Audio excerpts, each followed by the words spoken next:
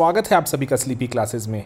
दोस्तों सोशोलॉजी में हम बहुत से कॉन्सेप्ट्स पढ़ते हैं और बस ऐसे रटते चले जाते हैं कि एग्ज़ाम क्रैक हो जाए और बस मार्क्स मिल जाएँ। तो लेकिन आज की वीडियो में मैं चाहता हूँ थोड़ा रियल लाइफ सोशोलॉजी के बारे में आपसे बात करना कि ऐसी सोशोलॉजी जी जो थोड़ा बुक्स के बियॉन्ड दिखे। ठीक है तो मैं आपको रियल लाइफ से कुछ एग्जांपल चुनकर यहाँ पे आपको दिखाता हूँ, जो रादर रियल लाइफ से हैं नॉट रियल रील से उठाए गए एंड शायद कॉन्सेप्ट बेटर समझ आएँगे। ठीक है दोस्तों, सबसे पहला जैसे दोस्तों एक कॉन्सेप्ट था वस्तेहन का, इसको वैसे फ़र्स्ट हैन कहते हैं शायद जर्मन वाले लोग। तो जर्मन वर्ड था वेबर ने समझाया, में वेबर ने बोला कि जो सोशोलॉजिस्ट्स हैं उनके लिए वस्तेहन करना ज़रूरी है। वस्तेहन का मतलब अगर देखें लिटरल सेंस में मतलब क्या होता है? अंडरस्टैंडिंग समझना ज़रूरी है। तो बहुत ही जैसे कई बार बच्चे समझते हैं ठीक है वस्तेहन मैंने पॉइंट सिर्फ़ मैंने याद कर लिए और समझना जो देख लिया। लेकिन आपको मैं एक वीडियो के थ्रू समझाता हूँ जो मुझे एकदम से वीडियो देखते हुए लगा कि ये वर्स्ट हेन हो रहा है। तो चलिए एक वीडियो देखते हैं आपको थोड़ा बेटर समझ आएगा कि अंडरस्टैंडिंग कहते किसको हैं। Okay Hey Joe, yes, I spoke to Mr. तो दोस्तों ये एक सीन है मूवी है ज़िंदगी ना मिलेगी दोबारा। उसमें शायद आपने मूवी देखी होगी उसमें सीन होता है कि यहाँ पर ऋतिक रोशन बात कर रहे होते हैं एंड इनको कहा जाएगा कि ऐसे कोई फ़ोन बाहर फेंक दो। And uh?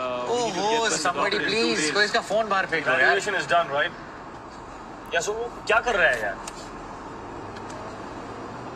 एंड वो सच में फ़ोन बाहर फेंक देते हैं और इस पर ऋतिक रोशन बहुत ज़्यादा गुस्से में आ गए हैं। Are you mad?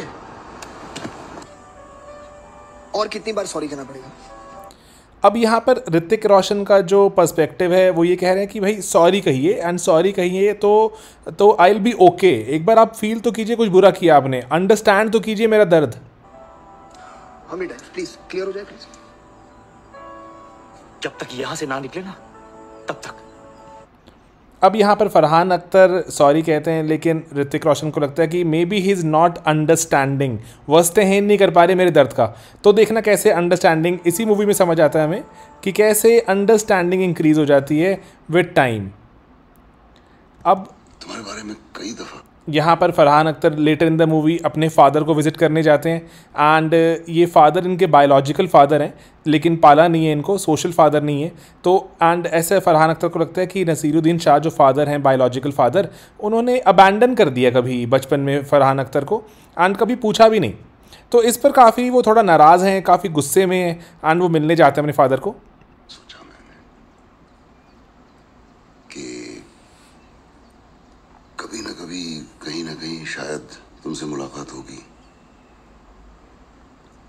पर ये नहीं समझ पाया कभी भी कि जब तुमसे मिलूँगा तो कहूँगा क्या। I am sorry Imran. अब यहाँ पर फरहान अख्तर को सॉरी शब्द सुनाई देता है एंड उनको एहसास होता है वस्ते हैन होता है कि वो सॉरी नहीं कह रहे, ठीक है, जो उनके फादर हैं अबैंडन कर दिया, लेकिन सॉरी नहीं कह रहे।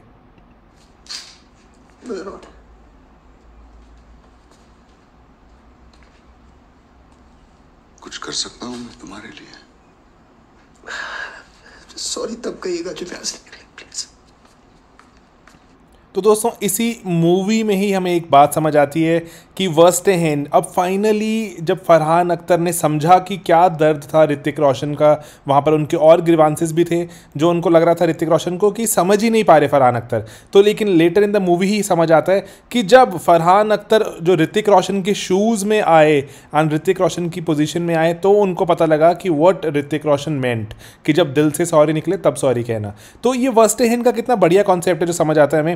एंड वेबर भी सोशोलॉजिस्ट को यही कहने की ट्राई कर रहे हैं कि अगर आपको किसी के बारे में, किसी कम्युनिटी के बारे में, किसी इंसान के बारे में समझना है तो आपको उसके बिल्कुल एग्जैक्ट सिचुएशंस कंसिडर करनी पड़ेंगी। अदरवाइज़ आप कभी उनका पर्सपेक्टिव समझ ही नहीं सकते। वेबर वर्स्टहेन को इस लेवल पे चाहते हैं ले जाना कि हम पूरा रिक्रिएट करें। क्या कंडीशन थी, किस कंडीशन में उसने, इंसान ने ऐसा डिसीज़न लिया एट्सेट्रा पूरा रिक्रिएट जो बहुत बढ़िया है, ज़िंदगी ना मिलेगी दोबारा के सीन में समझ आता है। आपको एक और सीन दिखाता हूँ मैं।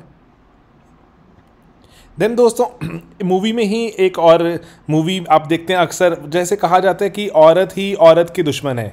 ठीक है तो औरत ही औरत की अगर दुश्मन है कहा जाता है, लेकिन दोस्तों अगर हम देखें ना, जो डेटा अगर चेक करें, एक बहुत ही बढ़िया आर्टिकल भी था। तो आर्टिकल में कहते हैं कि ना, जो सबसे ज़्यादा क्राइम किए जाते हैं, वो मैन द्वारा किए जाते हैं एंड जिस पर क्राइम होता है, वो भी मैन होते हैं। तो आइडियली तो एक मर्द ही मर्द का दुश्मन होना चाहिए, ये लगना चाहिए हमें डेटा को देखकर कि सारे क्राइम मर्द कर रहे हैं एंड सारे क्राइम्स हो भी मर्द पे रहे हैं। तो मर्द ही मर्द का दुश्मन है, लेकिन ऐसा कभी कहा क्यों नहीं जाता? ठीक है एंड अगर कहा भी जा रहा है तो क्या कहा जा रहा है कि औरत ही औरत की दुश्मन होती है? क्या मतलब हुआ? एक कॉन्सेप्ट है सोशोलॉजी में पेट्रियाकल बार्गेन तो पेट्रियाकल बार्गेन में हम समझते हैं कि किस तरह से विमेन जो सरवाइव करने के लिए, जो मेन द्वारा जो चलाया जा रही है दुनिया है पेट्रियाकल वर्ल्ड है, वहाँ पर विमेन सरवाइव करने के लिए क्या करती हैं? विमेन मेन के तरीके अपना लेती हैं एंड मेन की कंपनी का पार्ट बन जाती हैं मेन का साथ देती हैं एंड बाकी विमेन को सप्रेस करती हैं, ताकि वो जो जिस औरत की बात हो रही है, जो जो बाकियों को सप्रेस कर रही है, वो थोड़ा पोजीशन में ऊपर आए, थोड़ा स्टेचर उसका बढ़े, थोड़ी इज़्ज़त उसको मिले बाकी मैन द्वारा। मैं आपको एक वीडियो के थ्रू दिखाता हूँ। मुबारक हो मुबारक हो। ये बंटवारा एक मूवी है बहुत पुरानी। आपने हज़ारों ऐसी मूवीज़ देखी होंगी जिसमें ललिता पवार जी हैं और ललिता पवार एक्टिंग बहुत बढ़िया करती थी।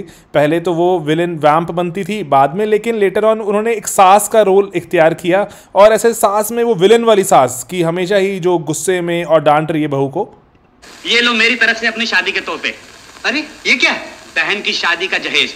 शादी के बाद नीलमा इस घर में इससे झाड़ू देगी और इस टोकरी में गाय भैंस का गोबर उठाएगी। भैया पहली बात तो ये दिखाने की ट्राई की जा रही है कि क्लास आपकी क्लास कैसे डिमोट हो जाएगी? आप अपर क्लास के हो अमीर हो सडनली अब आपकी शादी हो जाएगी। शादी हो जाएगी तो वहाँ जाके काम करना पड़ेगा आपको ऐसे वाला जैसे दिखा रहे हैं झाड़ू पोछा एक्सेट्रा तो क्लास को समझने का बहुत अच्छा है लेकिन चलो वो पॉइंट नहीं है। अभी ललिता पवार जी की एंट्री होगी।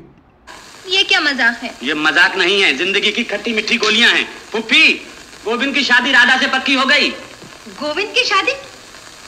घर की नौकरानी से? इसी बात को तो मैं रो रहा हूँ कि शाम से शादी के बाद नील नीलमा का दर्जा भी एक नौकरानी के बराबर हो जाएगा।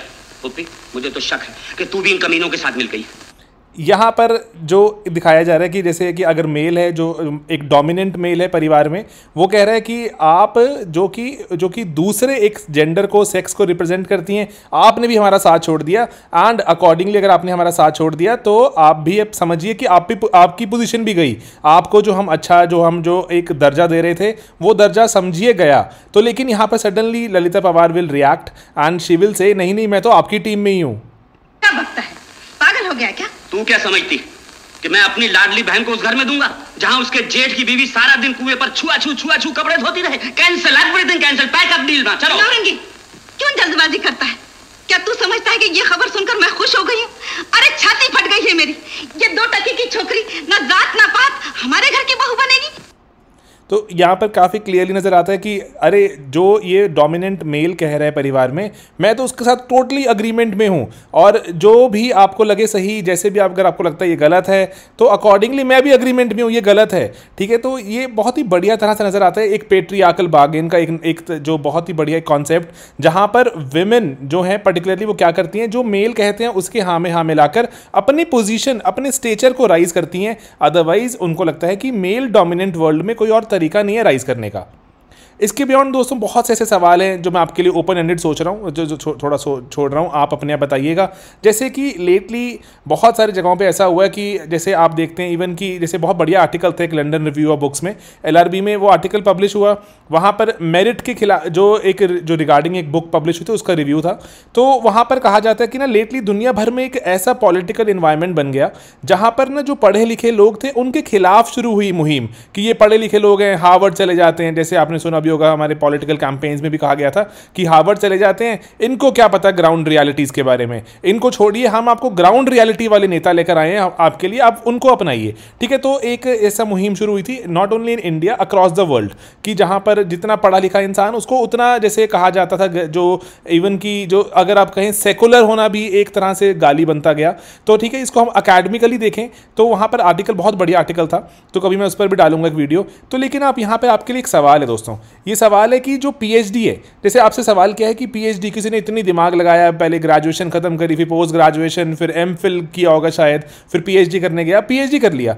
तो उसके बाद उसकी कोई कोई जॉब है लेट्स से उसको प्रोफेसर बनना है, कोई, कुछ और बनना है ना टीचर बनना है तो पीएचडी एक क्वालिफिकेशन की जैसे नज़र आती है। तो आपका क्या मानना है दोस्तों? मैं आपसे सवाल पूछ रहा हूँ यहाँ पर, थोड़ा इसलिए अकेडमिकली पूछ रहा हूँ कि पीएचडी दोस्तों क्वालिफिकेशन है या अचीवमेंट है? फॉर दैट मैटर कुछ भी, अगर आपसे पूछूँ, आपने अगर डिग्री की है, अगर आपने मास्टर्स की है, जो आपने जो भी किया, ठीक है, आपने लेट्स से आईआईटी आईआईएम से कोई आपने डिग्री ले ली तो वो डिग्री आपकी क्वालिफिकेशन बनती है या अचीवमेंट है? इस पर क्या सोचते हैं आप? तो लेटेस्ट जो हमारा पॉलिटिकल इन्वायरमेंट है, उसको वो क्वालिफिकेशन का दर्जा देता है, वो कह रहा है अचीवमेंट नहीं है ये, कि आपने I I T I M Harvard etcetera से कोई पढ़ाई करी है।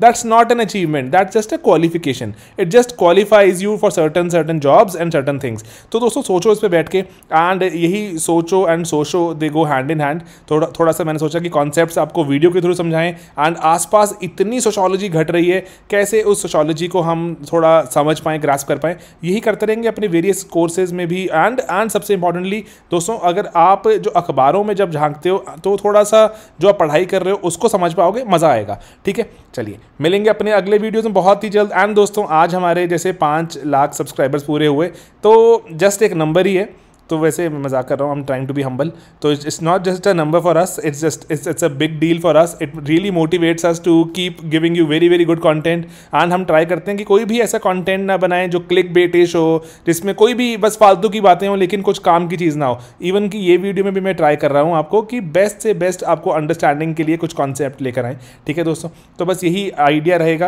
एंड आप सभी का आशीर्वाद चाहिए, आप सभी का प्यार भी चाहिए। ठीक है दोस्तों? चलिए, मिलेंगे अपने अगले वीडियोज़ में बहुत ही जल्द। Bye take care